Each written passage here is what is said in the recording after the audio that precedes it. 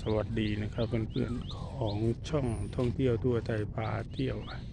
ตอนนี้ผมอยู่ที่พระธาตุสีสองลักษณ์อำเภอด่านซ้ายนะครับ วันนี้ก็มีพิเศษหน่อยๆทีมชุดเสื้อม่วงนี่ก็คงมาเที่ยวงานปีตาโคนครับ ก็คนที่เข้ามาส่วนมากน่าจะเป็นมาเที่ยวงานสีตาโคนพระธาตุสีสองลักษณ์อำเภอด่านสายสร้างขึ้นเมื่อสมัย 2103 2106 ครับ โดยกษัตริย์ไทยพระมหากษัตริย์จักรพรรดิสมัยกรุงศรีอยุธยากับพระมหากษัตริย์ เมืองศรีสัตนาคณหุก็สมัยนี้ก็คือนครหลวงเวียงจันทร์นั่นแหละครับ พระชัยเชษฐาธิราช ก็คือสร้างในเนื่องในก็ภาษาชาวบ้านสมัยนี้ก็ลงสนธิสัญญา ร่วมมือกันต่อต้านกับพม่าครับ สมัยนั้นพม่าขยายอิทธิพลมามากครับ ถ้าดูจากพศ2,103 นี่ก็เอาไล่เรียงจริงๆไทยก็อยู่ในช่วงจะกำลังจะเสียกรุงให้กับพม่าครั้งที่หนึ่งนะครับ ก็จนมาพศ 2116 หรืออะไรประมาณนี้สมัยสมเด็จพระนเรศวรนี่ ก็ประกาศกู้อิสรภาพคืนสมัยนั้น ถ้าถ้าจำคร่าวๆในประวัติศาสตร์น่าจะประมาณนั้น พระมหาจักรพรรดินี้พระวิสุทธิกษัตรีเป็นลูกสาวพระมหาจักรพรรดิครับครับ ถ้าดูในประวัติศาสตร์ถ้าดูมาไม่ผิดกับพระศรีสุริโยไทยก็พระวิสุทธิกษัตรีนี่ก็อ่า แต่งงานออกไปพระมหาธรรมราชาเจ้าเมืองพิษณุโลกครับ ก็เป็นพระบิดามารดาของสมเด็จพระนาเรศวรกับพระเอกาทศรถครับกับพระเท้าสุพรรณกัลยานี่แหละครับตามประวัติน่าก็น่าจะประมาณนั้นคาบเกี่ยวช่วงนี้เหมือนกับไทยกับลาวก็เหมือนกับทำสนธิสัญญา พื่อจะต่อต้านพม่านั่นแหละครับ ก็ในที่สุดก็เหมือนจะทัดทานไม่ไหว เพราะว่าที่หนองบัวลำพู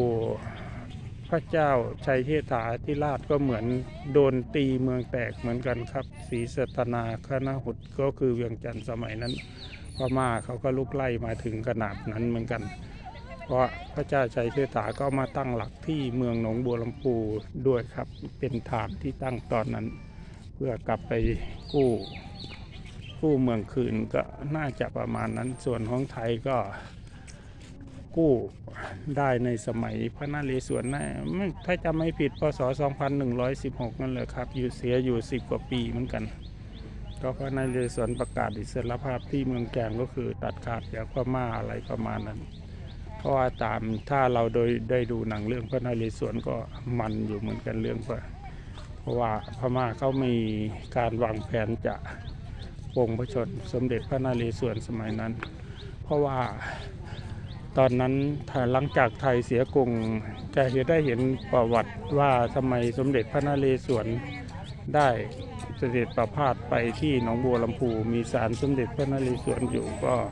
ท่านทรงประชวรเป็นสีดาบที่นั่นด้วยนะครับ เพราะว่าอายุประมาณ 15-16 ปี ก็ตามพระบิดาคือพระมหาธรรมราชานะครับ ม่าเขาสั่งให้ไปลบกับนั่นแหละครับ พระเจ้าชัยเชษฐาที่ราชคือทางเวียงจันทร์นั่นแหละ คือไปไล่ทางพระเจ้าชัยเชษฐาประมาณนั้นก็เป็นเมืองขึ้นของเขาก็คือเขาก็กวาดเอาหัวเมืองน้อยใหญ่นั่นแหละครับ ไปลบกับเมืองที่เขาตั้งกระด้างกระเดื่องเมือง ถ้าในประวัติศาสตร์ ก็ไม่น่าเชื่อว่าสมัยก่อนเขาเดินทับขนาดนั้นนะกรุงศรีอยุธยามานี่ กรุงศรีอยุธยาขึ้นถึงหนองบัวลำพูอะไรประมาณนั้น หรือไปไกลกว่านั้น เดี๋ยวผมจะพาขึ้นไปไปชมข้างบนเลยนะครับว่าเป็นยังไง ที่วัดนี้เขามีการห้ามไหว้ด้วยดอกไม้สีแดงครับ ห้ามใส่เสื้อแดง ห้ามใส่รองเท้าขึ้น ห้ามกางร่มขึ้นครับเพราะอันนี้เป็นสัญลักษณ์ของการส่วนที่สัญญาก็คือร่วมมือกันก็ คือจะไม่ให้มีสีแดงประมาณนั้นเดี๋ยวผมจะพาขึ้นไปดูข้างบนวัด ข้อห้ามของวัดครับเวลาถอดหมวกและรองเท้า ห้ามใส่เสื้อแดงขึ้นด้วยห้ามบูชาด้วยดอกไม้แดง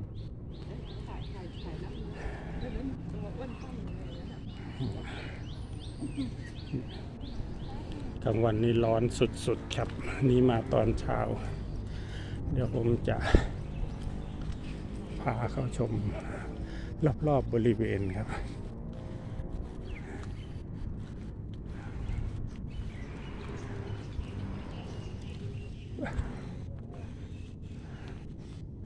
ที่บอกว่า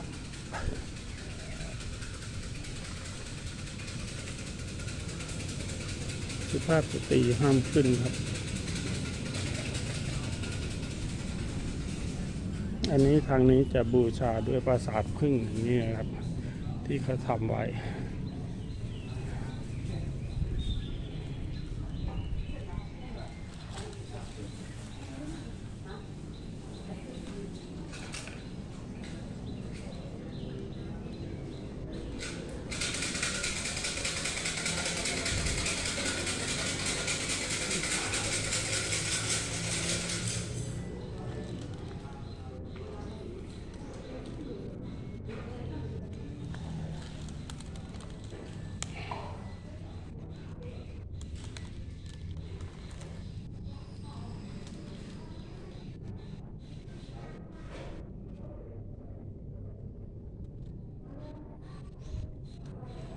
กับใส่กุญแจ ไว้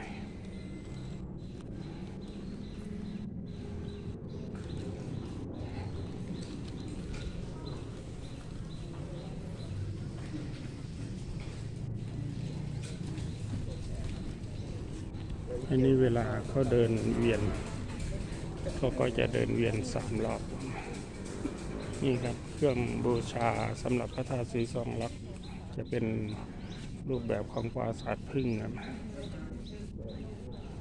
วันนี้ก็น่าจะเริ่มเริ่มบูชากันเลยก็ก่อนที่จะมีประเพณีผีตาโขนก็น่าจะเกี่ยวเจ้าเกี่ยวพันกันอยู่ กับตำนานของผีคนน้ำหรือผีตาโขนที่ด่านทราย นี่คือพระธาตุสีสองหลักอันนี้เขาบอกว่าองค์จริงนะครับที่สร้างสมัยนั้นนี่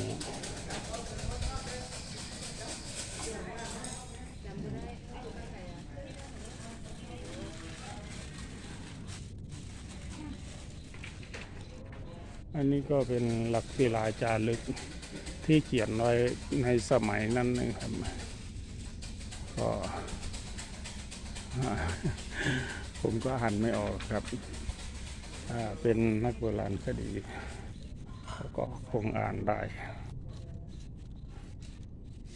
ครับ ที่เขาแปลออกมาแล้วจะอยู่ที่แผ่นนี้ครับ หลักศิลาจารึกที่เขียนเขียนไว้ ว่า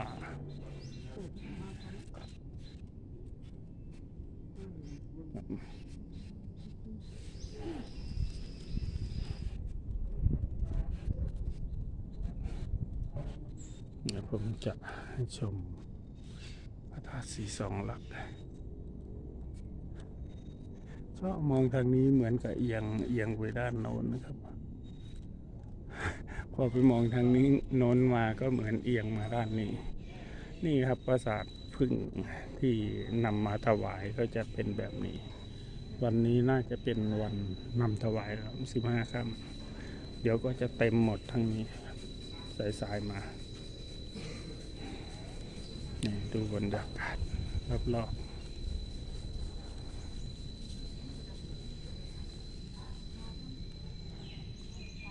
ตอนกลางวันร้อนมาก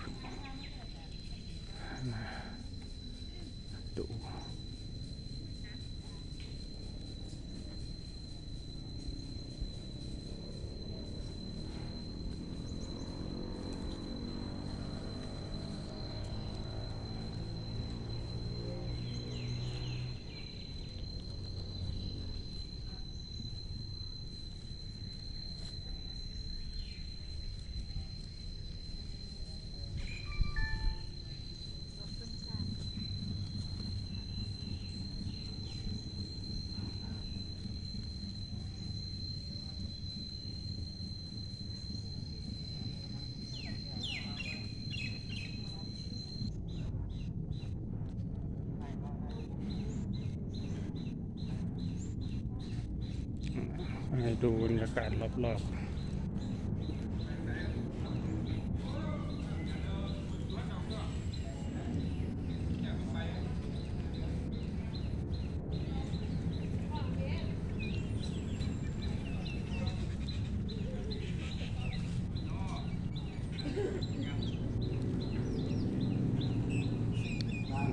ปราสาทพลึง แล้วก็จะมีคนมาบูชาครับ บูชาไป บูชาพระธาตุสีสองลักษณ์ก็นี่ก็สายๆมาก็จะเต็มพระธาตุเหมือนกันครับ อันนี้ผมมาเช้าหน่อยก็เลยจะให้ดูคือบรรยากาศที่พระธาตุสีสองลักษณ์นะครับ